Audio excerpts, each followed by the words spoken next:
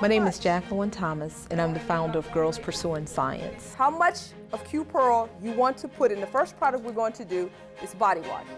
Girls Pursuing Science is a STEAM enrichment program, and STEAM is an acronym for science, technology, engineering, arts, and math. I'm putting my decimal right here. Program is designed to introduce pre-chemistry and pre-algebra as early as fourth, fifth grade. We're learning how to make perfume, lip gloss, lipstick, and a body scrub. No, we do cosmetic chemistry. I feel like I'm walking into a spa party of some kind. So, you know, we're learning and laughing. We're having fun. You know, don't tell them, but they're learning chemistry. I like that she teaching us stuff about science, but in a fun way. As soon as I go in the store and I open it up, woo!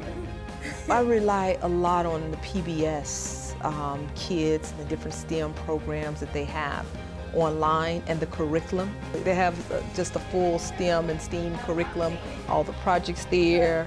Um, so before class, I would always show the project first and get them all excited that this is what we're going to make. And I do that through PBS. I'm very proud of the young ladies that we have served and the lives that we have made a difference in. For more stories of champions, visit AmericanGraduate.org.